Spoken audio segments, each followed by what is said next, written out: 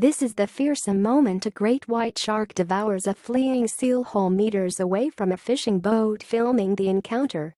Cage divers filming beneath the water captured the moments before as the seal twisted and turned in the water inches away from the enormous predator.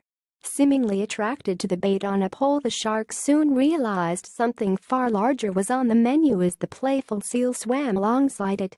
Footage from above the water shows the seal suddenly flailing desperately, though the water as the shark lunges towards it, in Gansbaai about two hours away from Cape Town.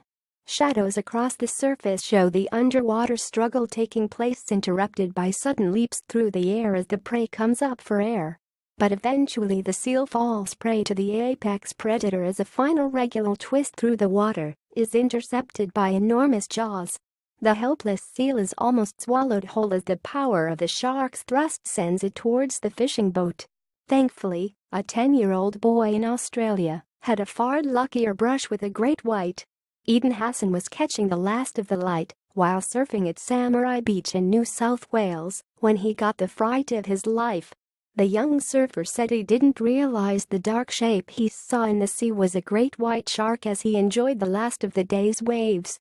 His father, lifetime surfer Chris Hassan, was standing on the rocks taking photographs of his son when he saw a dark shadow in the water